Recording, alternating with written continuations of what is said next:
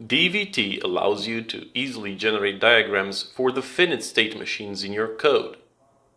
Let's locate an FSM state variable using the types view and generate the diagram from the view's context menu.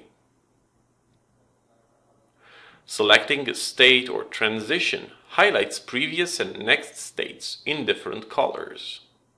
For further inspection, you can use the state transition table for each transition, it shows the current state, next state, and condition.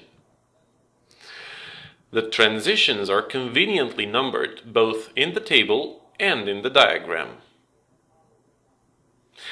The table and diagram selections are cross-linked. Select any entry in the table and the transition will be highlighted in the diagram. Any selection in the diagram will highlight the corresponding elements in the table. You can right-click on a transition and use Go to Source to jump to the assignment that causes it.